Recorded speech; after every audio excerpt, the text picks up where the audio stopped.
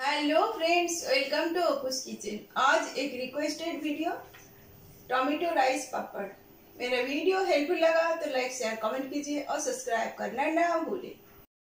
Tomato rice पापड़ बनाने के लिए ये सब इंग्रेडिएंट्स चाहिए। 500 ग्राम टोमेटो लिया धो के क्लीन करके रखा और 200 ग्राम मैं राइस फ्लावर लिया व चावल का आटा। दो चम्मच ऑयल यूज़ करूँगी, एक चम्मच जीरा पाउडर एक चम्मच रेड चिली पाउडर टेस्ट के अकॉर्डिंग नमक, आधा चम्मच हींग। टमाटो को पहले ग्राइंडर का जार में ऐड करके पीस के रेडी करूँगी।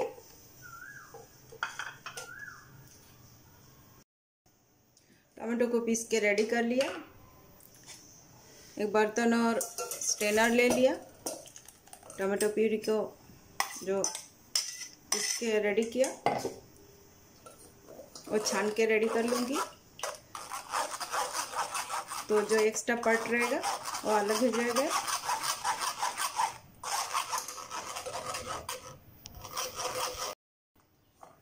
अच्छी तरह से छान लिया। जो एक्स्ट्रा पार्ट है, वो डिस्कट कर देती हूँ। टमाटो प्यूरी को छान के रेडी कर लिया। इसमें थोड़ा पानी यूज़ करूँगी, आधा ग्लास ऐसे, क्योंकि जो चावल का पाउडर मैं ऐड करूँगी, यही पानी में मैं बॉईल करूँगी इसके लिए।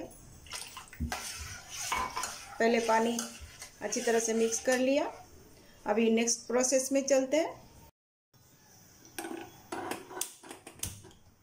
गैस ऑन करके बॉयल होने के लिए रख दिया।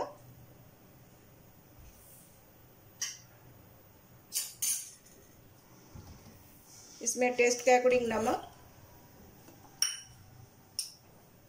और रेड चिली पाउडर और जीरा पाउडर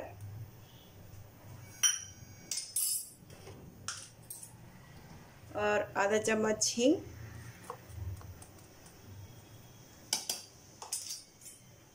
अच्छी तरह से पहले मिक्स करके बॉईल कर लेती हूँ।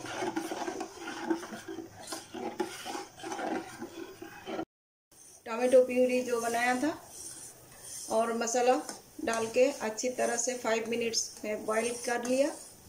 टमाटो का जो कच्चा टेस्ट और अच्छी तरह से चला जाए और मसाला भी अच्छी तरह से पक जाए। अभी थोड़ा थोड़ा करके गैस का फ्लेम लो कर दूँगी और थोड़ा थोड़ा करके चावल का आटा डालती जाऊँगी और मिक्स करते जाऊँगी।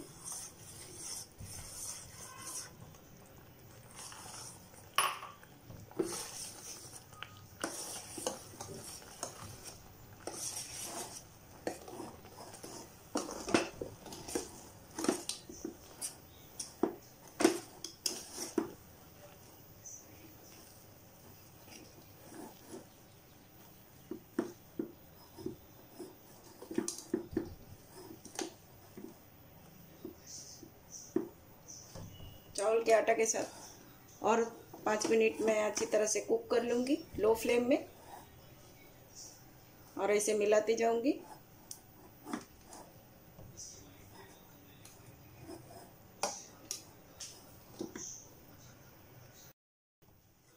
अच्छी तरह से मिला के हो गया। अभी ढक के फाइव मिनट्स और रख दूँगी। अभी गैस बंद कर दूँगी। पापड़ का मिश्रण मैं ठंडा होने के लिए छोड़ दिया था। थोड़ा लाइटली गरम है। पहले एक प्लेट में निकल लेती हूँ।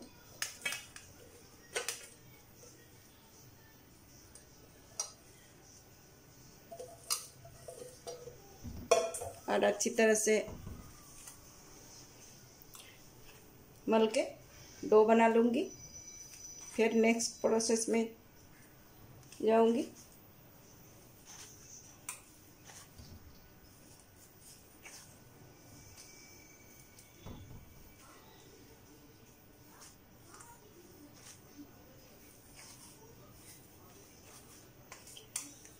पानी कम लगेगा तो थोड़ा गर्म पानी यूज़ कर सकते हैं।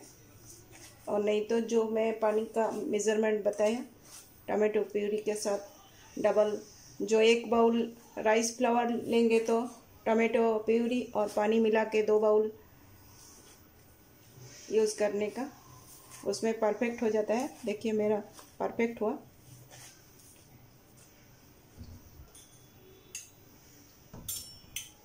एक चम्मच ऑयल ऐड कर देती हूँ तो हाथ में छिपकेगा भी नहीं और बहुत अच्छी मल के तैयार होगा। पहले दो मिनट अच्छी तरह से मल के तैयार कर लेती हूँ। अच्छी तरह से मल के हो गया। अभी छोटा छोटा गोला बना लूँगी। जैसे पापड़ चाहिए छोटा बड़ा उसी सबसे ऐसे गोला बना लेती हूँ पहले। पापड़ बनाने में आसानी होगा इसके लिए। सारे बॉल्स बना के तैयार कर लिया। अभी एक एक बॉल्स को अच्छी तरह से ऐसे दबा के स्प्रेड कर देती हूँ। और एक प्लास्टिक का सीट में थोड़ा सा ऑयल ग्रीस कर लेती हूँ। ऐसे रख के बेल के रेडी करूँगी।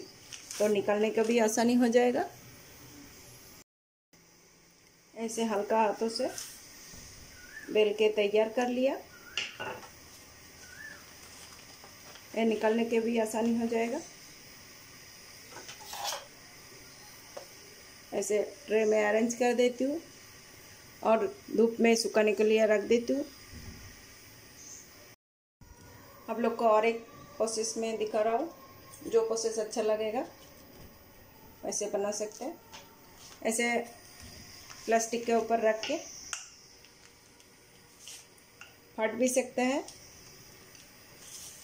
तो कुछ टेंशन का बात नहीं है, ऐसे बेल के और जो एक प्लास्टिक का सीट हटा लेने का और जो बाउल आता है नॉर्मल घर का, वो बाउल से ऐसे गोल शेप दे देने का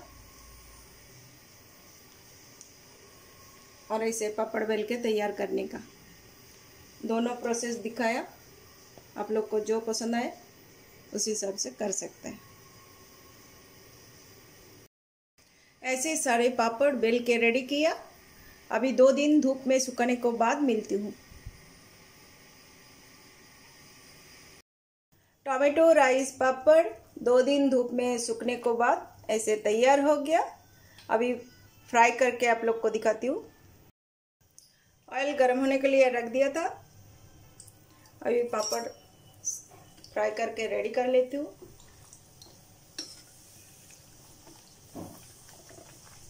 पापड़ बहुत जल्दी सीख जाता है। देखिए कितना अच्छा सीख गया। ऐसे सारे पापड़ को फ्राई करके रेडी कर लेती हूँ। ऑयल गरम हो गया। अभी फ्राई कर लेती हूँ।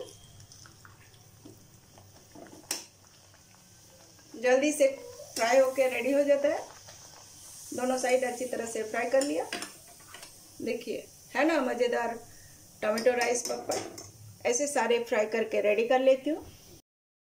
राइस, टमाटो, पापड़ फ्राई होके रेडी हो गया।